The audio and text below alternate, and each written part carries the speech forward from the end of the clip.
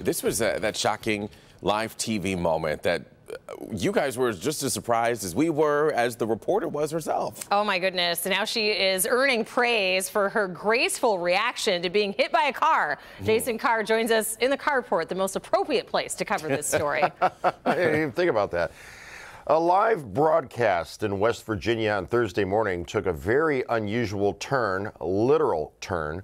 Working by herself as an MMJ or multimedia journalist, Tori Yorgey was just about to give a live report on a water main break when a car came out of nowhere and hit her, as you've no doubt seen. Go ahead. And now we're starting to experience, unfortunately, in freeze thaw, we see this water main breaks.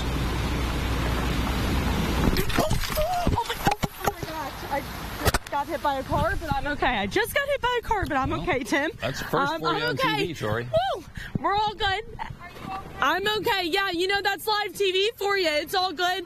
I actually got hit by a car in college, too, just like that. Wow. I am so glad I'm okay. Yeah. You're, you know, it's my last week on the job, and I think this would happen. So you were bumped in, me, Tim. Were you bumped down low, Tori, or were you hit up? Well, thankfully, Yorgey was okay, and like a champ, she got right back up and never missed a beat, and of course seemed a, a little shaken, and then she moved to her camera.